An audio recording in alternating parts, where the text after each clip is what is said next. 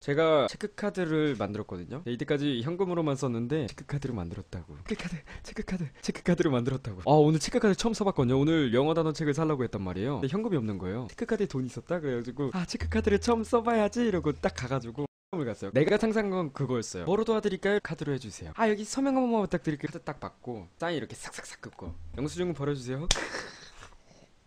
그럴 줄 알았거든요. 야 얼마나 멋있어. 체크카드로 사인을 싹싹싹 하고 아 영수증 버려주세요. 근데 막상 가보니까 주세요. 아 네. 서명 한 번만 해주세요. 카드를 안 주는 거예요. 아 카드로 사인하고 싶었는데 손으로 이렇게 싹싹 긋잖아. 싹 긁라 했는데 아 실패한 거야 한번. 다시 긁어주세요. 쪽팔려가지고 네. 로, 로망하고 다르더라고요. 다음에는 꼭 카드로 사인할 겁니다.